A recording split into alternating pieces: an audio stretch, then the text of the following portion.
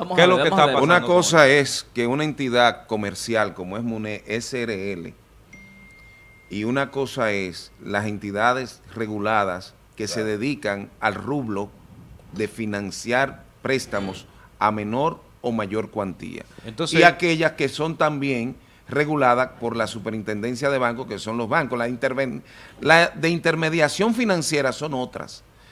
Esta tenía años siendo receptora de capitales en condición De préstamo. de préstamo.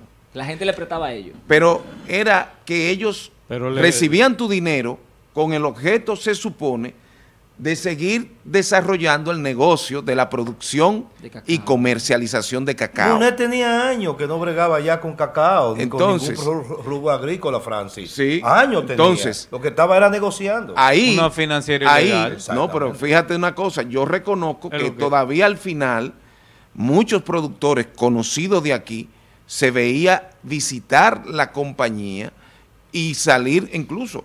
En el día que estaban los vehículos de la Superintendencia de Valores ahí, que fue una semana, yo con mis propios ojos, y lo comuniqué a los abogados, vi que salía un camión Mercedes-Benz, el grandote, repleto y era de cacao.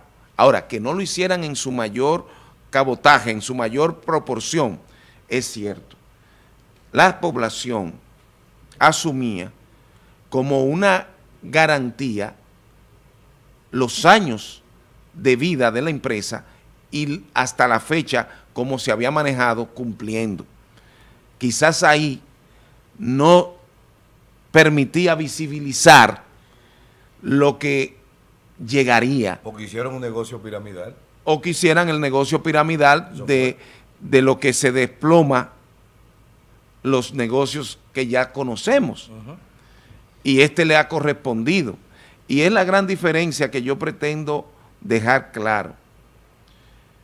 Cuidadito con sectores o con estrategia del propio MUNE o de los que asisten a MUNE en la reducción del impacto por opinión pública de esa realidad que ellos hoy tienen, ligándolo o transmutándolo a otras entidades que sí son del renglón de intermediación financiera y que sí están reguladas y que poseen dinero de la gente, que es el caso por lo cual hoy escuchamos una declaración Comunicado de la pública de la Asociación Duarte y es la que nosotros, en lo particular yo defiendo.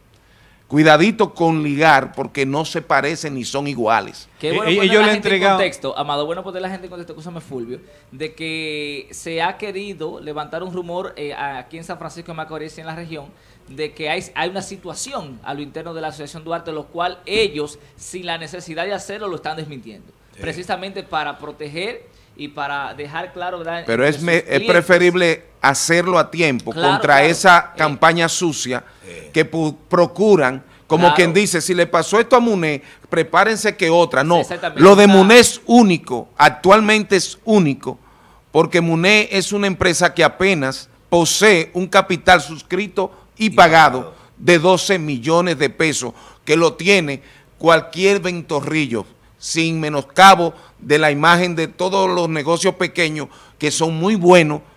Me refiero a que una empresa de 12 millones de pesos es una empresa que ya sabemos proporcionalmente qué capital puede estar manejando al año Sí. y no una que de 12 millones manejara 2 mil millones. Pero yo